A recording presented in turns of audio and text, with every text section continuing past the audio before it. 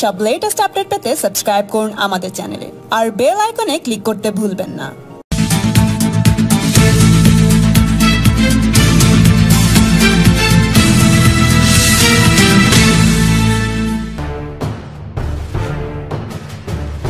তৃণমূল গুন্ডাগিরি করছে রাজ্য জুড়ে। বিজেপি রাজ্য সভাপতি দিলীপ ঘোষ এমনটাই বললেন এদিন। এক ভিডিও বার্তায় তিনি বলেন প্রতিদিন বিজেপি কর্মীদের হত্যা করা হচ্ছে। গত পঞ্চায়েত নির্বাচন থেকে এখন পর্যন্ত একশোর বেশি বিজেপি কর্মী ও নেতাদের হত্যা করা হয়েছে। পাশাপাশি এলাকার বিজেপি কর্মীদের ভয় দেখাতে বোমাবাজি করা হচ্ছেও বলে অভিযোগ করেছেন তিনি। আর এই সকল কিছুর মূল্যে রাজ্যের শাসক দল তৃণমূলের প্রত্যক্ষ মদত রয়েছে বলে অভিযোগ করেছেন তিনি। তিনি তৃণমূল সরকারকে তোপ দেখে আরও বলেন, গোটা পশ্চিমবঙ্গে হিংসা ও প্রতিহিংসার পরিবেশ তৈরি করা বর্তমান শাসক দলের সরকারি পলিসি। আমি জানি না এর শেষ কোথায়। দক্ষিণ চব্বিশ ডায়মন্ড হারবারের বিষ্ণুপুর থানাতে আজকেই আমাদের ভারতীয় জনতা পার্টির একজন মহিলা নেত্রীর উপরে আক্রমণ হয়েছে। তার স্বামীও বুথ সভাপতি।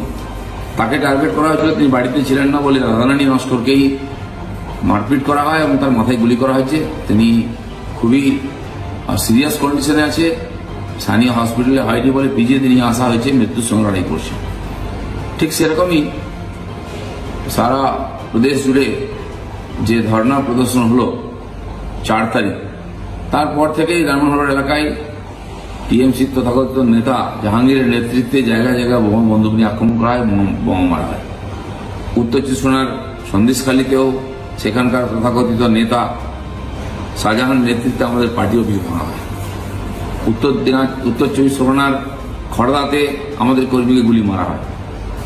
কালনায় কর্মীকে হত্যা করা হয়। প্রতিদিন এই ধরনের দুঃসংবাদ শুনতে হচ্ছে এবং রাজনীতি হিংসার ফলটা।